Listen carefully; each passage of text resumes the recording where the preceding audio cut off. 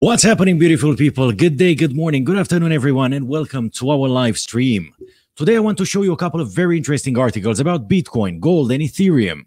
What is the correlation between gold and Bitcoin? Is the bull uh, market coming to an end soon?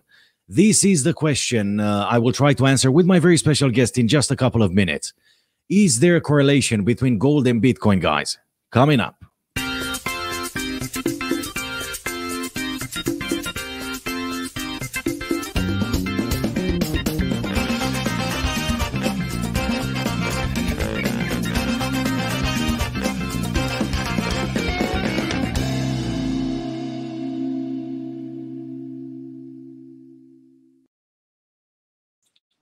Right. I came across a couple of very interesting articles, guys, uh, talking about the correlation between gold, Bitcoin, uh, Ethereum, okay, and other cryptocurrencies. And I cannot start the chat today without my very special guest, like every other Tuesday, from the heart of London, Neil Wilson, Chief Market Analyst at Markets.com. How are you, Neil? I'm very well, thanks. Yeah, the, the hair's the hair's getting longer by by the day, so I'm looking forward to when the hairdressers reopen. From now on, I'm going to introduce you uh, like this Neil Wilson, the man that has a different uh, hairstyle every day. no. Not by design, though. no? Okay. Now, um, we had some uh, very good news from UK. Uh, yesterday, the new budget was announced, and this morning we saw that the UK and the US have reached a potential agreement on uh, halting the tariffs on uh, whiskey and other products. Is that right?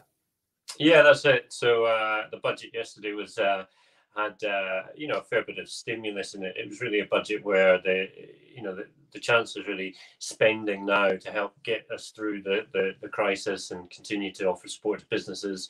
Um, among those, you know, the ones that have been hardest hit, especially. Um, but it does imply sort of tax hikes down the road. So we'll be paying it back um, through higher taxes uh, over the course of the parliament and beyond. So um, a bit of a mixed bag, but definitely some support in there for the economy, lots of support for the economy, um, and more borrowing. So there's going to be about another 50 billion pounds of issuance next year uh, by the government, and I mean that'll just get hoovered up by the Bank of England. So it's not really a problem for the for the gilts market, but uh, it does show that the government is prepared to borrow more uh, than the market had maybe thought.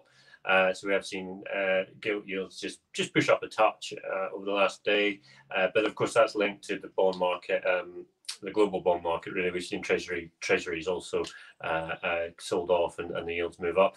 Um, and yeah, the the news on the on the tariffs is a good one. Really, it just shows you know. Um, that now that we're out of the EU, we're able to to move forward ourselves on trade negotiations and, and don't need to worry about what the rest of Europe uh, is demanding. And this was the uh, British dream in the last four years. I uh, reckon this deserves a, a, shot, yeah, to celebrate that you don't have whiskey anymore. now let's have a quick look at let's have a quick look at what uh, Rishi Sunak uh, highlighted yesterday. Uh, so we see a furlough to be extended until the end of September. He he said we see the government uh, to continue paying 80% of employees' wages for uh, for hours they cannot work, which is really good. Employers to be asked to contribute 10% in July and 20% in August and uh, and September to support this movement. Also, Rishi Sunak announced uh, support for the self-employed also to be extended until uh, September. And 600,000 more self-employed people will be eligible for uh, help as uh, access to grants is widened. Wow, that's really, really good news. So my next question would be, uh, where does this leave the pound? Because uh, considering what's happening, the the path to uh, to 149 on the cable should be quite smooth, right? Yeah, I mean, obviously we've seen a, a, a pullback, um, really off the back of dollar strength. The dollar's come come back quite strongly um, and push cable back down below 140 again. I think uh, you know, I think um, I still think the pound's going to be moving up. I still think the pound's got the best sort of outlook uh, near term for for for growth. I think just with the, the UK economy bouncing back, hopefully um, pretty quickly this year.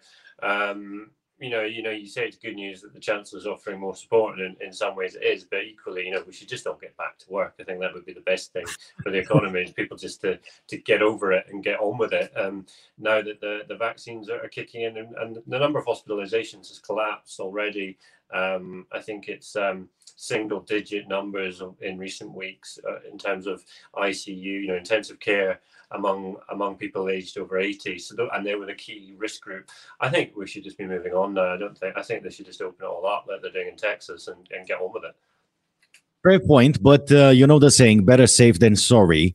Um, on the same note, the World uh, Health Organization issued a warning a few days ago that the COVID uh, cases around the world are booming again, and it's the new strain of uh, of COVID. Apparently, it keeps mutating. So I agree with you because I'm uh, I'm fed up with this uh, so-called lockdown. But better safe than sorry. We saw what happened with the with the millions of people that got affected by uh, by COVID. Now, looking once again at the chart, um, I see that I have a 200 moving average. I'm looking at it on a on a monthly chart at the cable. Okay, 139.61 as we speak. We see a big big resistance level uh, highlighted by the 200 MA at 148.96 just four basis points below the 149 it's very close it's very very close and uh, we will probably see a retest in in the next month or so if uh, if things keep going this way what do you reckon yeah, I mean, I think I think this this is a short term rally for the dollar. I still think the downward, you know, the, the longer term trend remains remains lower for the dollar. You think you just maybe seeing a bit of this yield, you know, the yields picking up. Um, that's creating a bit of uh, pressure. Um, but yeah, I think you know you probably you got to clear that um, that high, that sort of 144, 45 high that I think was uh, from 2018, if I remember correctly. Um, yeah, and that, that's that's uh, obviously going to be a key. Uh, a key bit of resistance there, that horizontal sort of resistance. I think that's going to be pretty tough resistance to, to crack. Um, but if it goes, then or once it goes, then we we start to see it run up towards that 150 level. Hey, it's very very close to uh, to the to the 149. There's the 145. There's the 149. Right, very close. Now, the real reason why I wanted you here uh, today, apart from having a, a, date every Monday and Thursday, uh, there's something going on with the crypto market, and I've, I've discovered two very very interesting articles uh, earlier on. The first article, okay, has to do with the correlation between uh, Bitcoin and gold. Did you ever come across this this kind of correlation? Did you ever saw it this way, Neil? Yeah, um, I actually wrote wrote about this uh, last year um, uh, for the Investors Chronicle. Um, the uh, the behavior um, of Bitcoin and gold uh, was actually last year was, was correlated actually more to risk. It had quite a close correlation with the S and P 500. Um, and I think yeah, it's it's it's really this idea of Bitcoin acting as a digital gold um, and and drawing away some of the, the, the traditional demand that you see for gold. Uh, into Bitcoin. So what, what we're seeing is really that uh, you're not seeing Bitcoin as a as a as a as a currency per se, but as a as a as a security, a bit like gold, a non-yielding, uh, safe asset that protects you against inflation. And it's it seems to be that it's picking up some of that demand, particularly among younger investors who uh, are, are, maybe not going into gold and and, and just uh, putting a little bit of their money in Bitcoin. And it's it's a sense that you know in, in the old days you might have you might have um, kept you know two two three four five percent maybe of your assets in gold say uh, or, or, or maybe even just half a percent, whatever. And whatever that number is, it's different for everyone.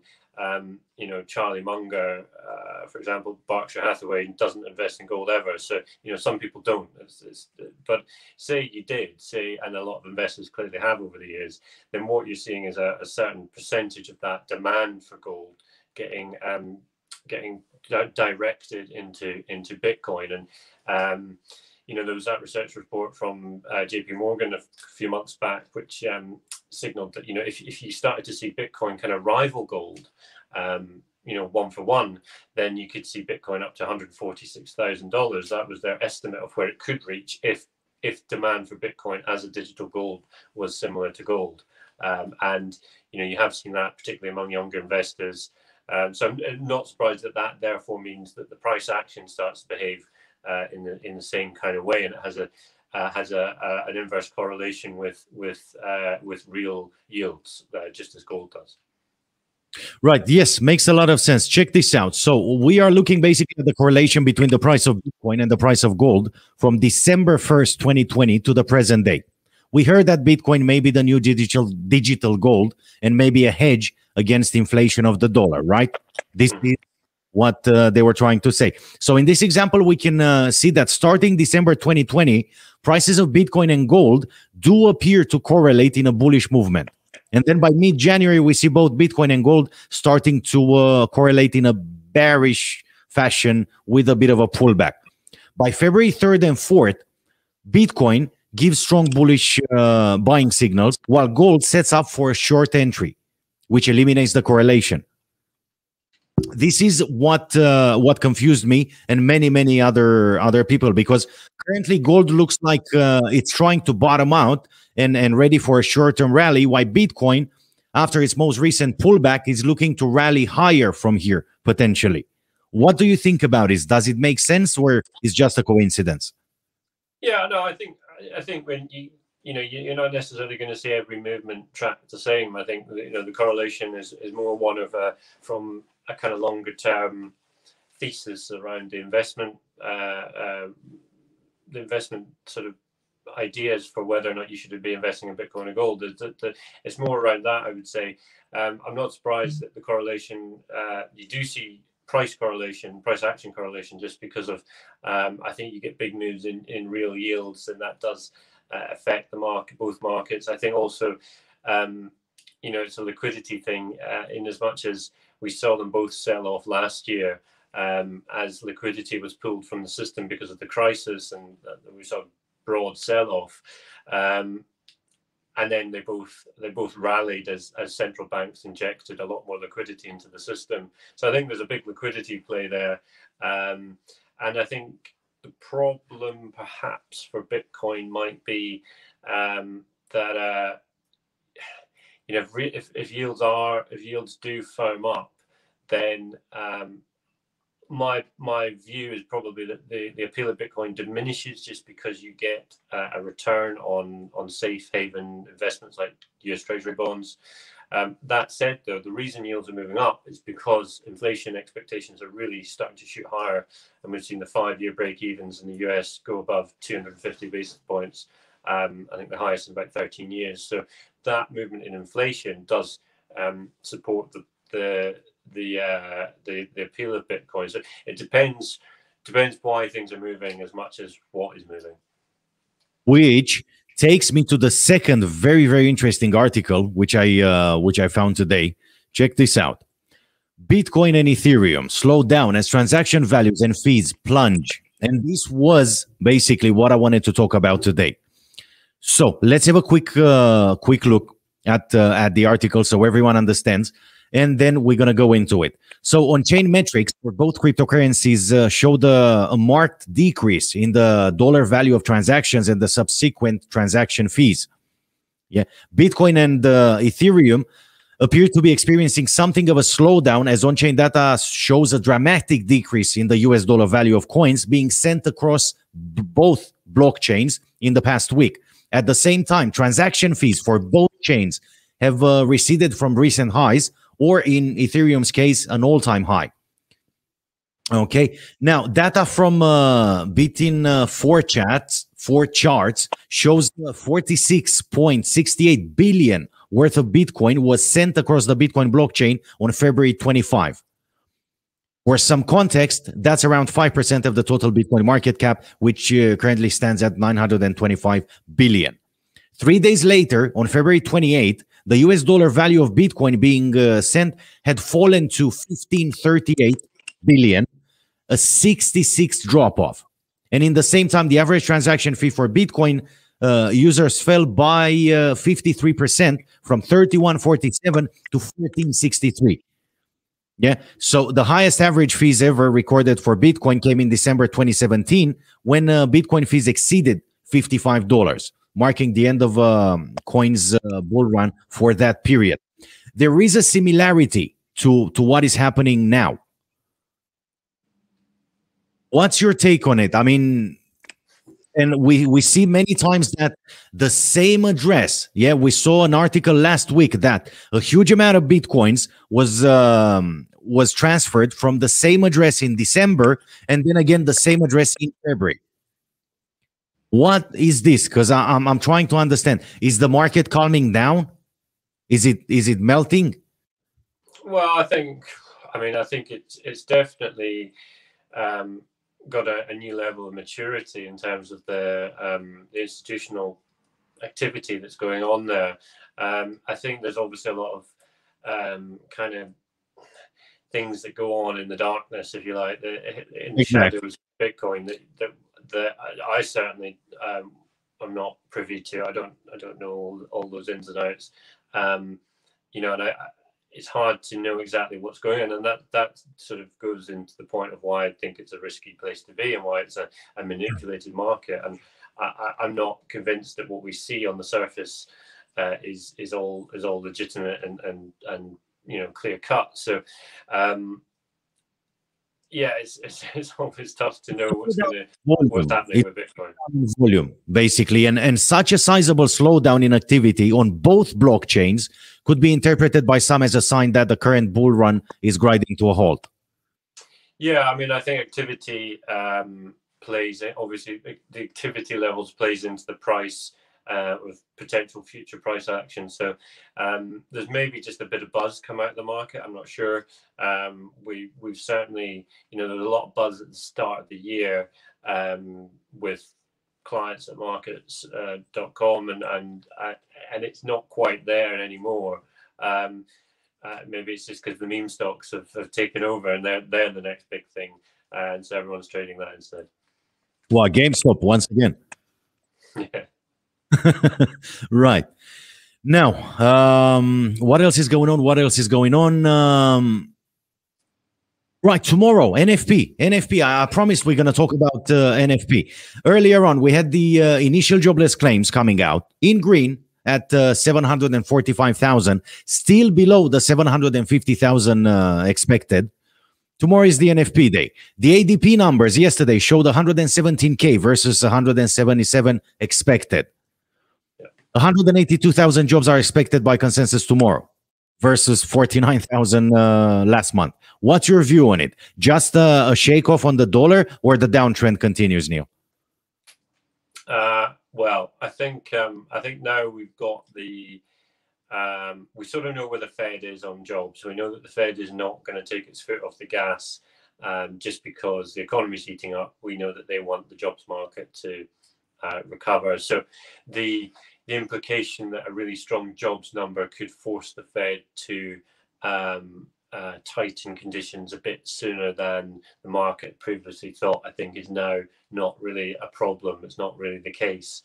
Um, we know we know sort of where the Fed is, and I don't think it's it's in a position where, with 10 million jobs lost since the pandemic started, that um, a really strong print is going to necessarily do much. Had that said, though, I think if you get um, get a good strong print, then it does suggest the economy is doing a bit better, and that does suggest um, that maybe there could be some dollar strength. But if, if the economy is picking up whilst stimulus is still there, whilst the Fed's anchoring um, the short end of the curve, then you know you start to think about inflation, and you also start if you see the Fed, and we've got Jay Powell speaking today. Um, potentially trying to lean on the long end of the curve, then that could force up inflation even further. So you could get a situation where you start to see this kind of uh, unanchoring of, of ex- inflation expectations, which I think we're already seeing, and a strong jobs number uh, would support that. If you get a weak number, then you probably think um, you know, it's just the case that the economy just needs a little bit more help, and it, uh, you know, it's not really going to uh, massively affect the market. I don't think. You know what's interesting? Now we're going to have uh, Jerome Powell uh, speaking tonight, but they um, they all want a cheap dollar, and the events that happen in uh, in the US because they have a heavy winter. The events that happened in the US last month I don't know if we're going to see big growth. Yeah, big uh, job growth this month. purely because Texas was frozen for weeks. And, and we had many areas in the states that uh, faced a lot of issues. Obviously, people were left out of work, out of uh, uh, electricity. So all this, I think, will add up to to the job to the data numbers that we to the job numbers that we're going to see tomorrow. Sorry, I'm getting confused. So I don't know too much about uh, a strong dollar, but once again, we're going to see. We're going to see what uh, what's going to happen. Right, Neil. Thank you so much for today. It's a short one today because um, we're very close Pleasure. to the U.S. market, and I want to go to the Bitcoin. And uh, I'll talk to you on Monday. Yeah, let's see how uh, the NFP will affect the dollar tomorrow. Yeah. What's the direction? And Monday we're gonna get a new uh, new direction of the market. Okay, great. Sweet. Thank you for your time today. I'll see you on Monday. Take care.